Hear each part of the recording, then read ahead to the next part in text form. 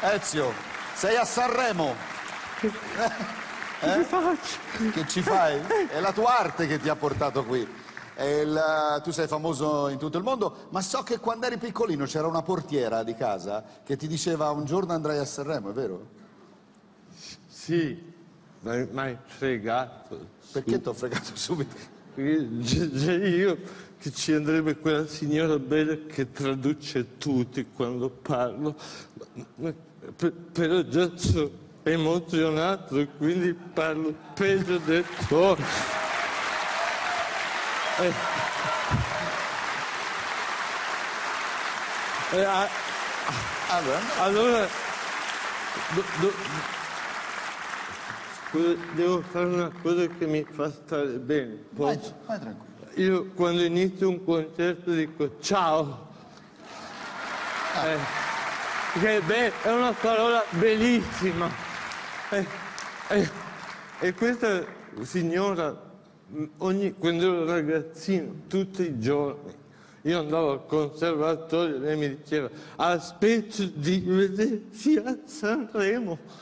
E, e io dicevo signora, no, io- non canto. No, no, chi lo sa, magari è là che dice... "Mi Ci hai visto? coraggio". L'avevo detto, l'avevo detto. Senti, il mondo, il mondo ha bisogno della musica, ha bisogno di musica. No, ma, ma c'è perché la musica siamo noi. La, la musica è. La, la- la- la- musica è un- una fortuna che condividiamo, che, che ci è arrivata e ce la cerchiamo. Noi mettiamo le mani ma ci insegna la cosa più importante che esista, ascoltare. È vero, è fondamentale. Domani sarà alla Royal Opera House di Londra, poi debutterà un nuovo spettacolo a Royal Ballet con le sue musiche. Sabato sarai a Vilnius. Ma dove trovi tutta questa energia? La, la- la musica è una vera magia. Infatti sapete che non a caso i direttori hanno la bacchetta come ma. No?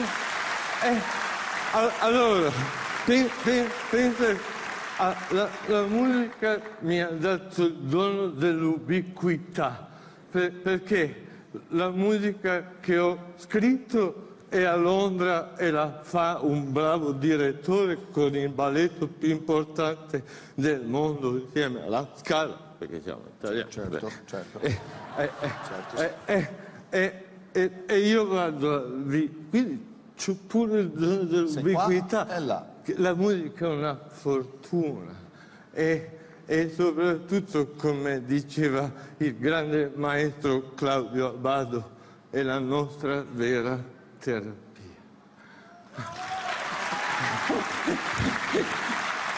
Da pochi mesi c'è il tuo primo CD, che è la dodicesima stanza, perché secondo un'antica teoria 12 sono le stanze della nostra vita.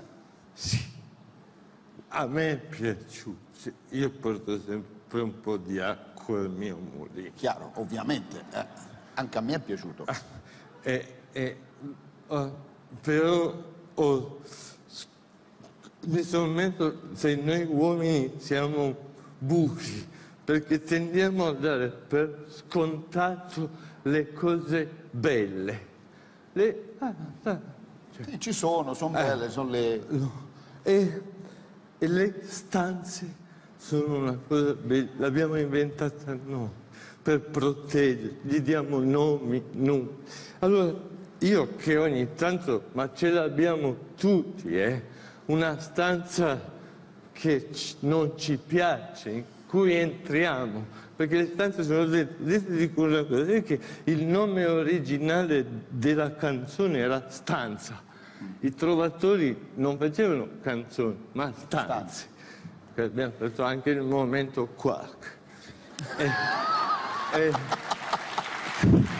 e, e, e allora per, a me piace curiosare ed esplorare quello che a volte diamo per scontato. E ho trovato questa cosa bellissima. Io ogni tanto succede a tanti che hanno, ma a tutti, succede dentro o fuori, una stanza che è buia e, e si reclude, è piccola. E, e lì ho incontrato questa teoria che dice che noi non siamo una linea, ma siamo dodici stanze, nell'ultima che non è ultima, perché si cambia. Ricordiamo la prima, perché sapete quando nasciamo non la possiamo ricordare perché non vediamo appena nati, ma lì la ricordiamo e siamo pronti a ricominciare. E, perché, La- e la- quindi le dodici siamo stanze. liberi. Quando è arrivato dietro le quinte mi ha detto tu sei un pazzo avermi invitato. Sono felice di essere un pazzo, ma sono proprio felice. Ora eseguirai Following Up the Bird, che ha un Sì. significato speciale, particolare. Sì, vedete, mi piace giocare, un, vi faccio un- una piccola parte di questo brano per me importante, che è quello con cui apro tutti i miei concerti. Perché? Perché grazie a un... io sono un disastro coi titoli, quindi ho perso il campione e li faccio in inglese che fa ho subito più fighetto. Ah, ecco, già più, Sì. eh, cioè, più- Eh, eh. dice detto in inglese, Sì. Following the Bird, Sì, perché bird. seguendo un uccellino non è un granché, schifo, certo, certo. eh, invece. Following a Bird è Eh, più bello. E, e, e, e, e, e allora proprio seguendo que- quell'uccellino che volava mi sono perso e mi sono messo a ragionare sull'importanza di perdersi per imparare a seguire. Noi diciamo perdere è brutto, no, nessuno perde, ma a volte perdere i pregiudizi, perdere le paure, perdere il dolore ci avvicina e ci fa seguire. Ma adesso provo a suonare, sono agitato. Prego, maestro.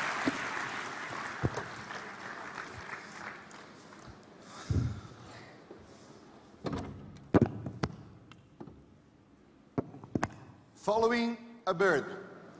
Il maestro Ezio Bosso.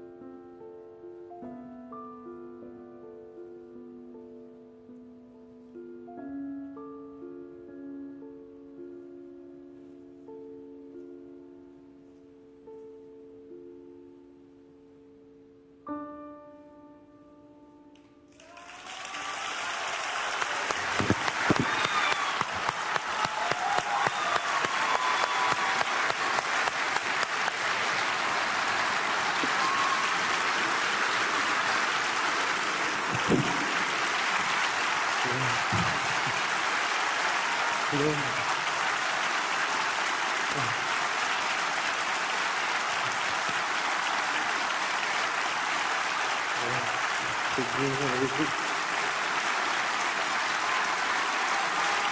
solo hai suonato al Festival di Sanremo, ma hai avuto anche la standing ovation, che è una standing ovation non soltanto all'artista, ma anche all'uomo. Grazie. Posso dire una cosa? Certo. Ricordatevi sempre, la musica come la vita si può fare solo in un modo, insieme. Ciao! Grazie. Finito. Ezio Mosso. Tra poco ancora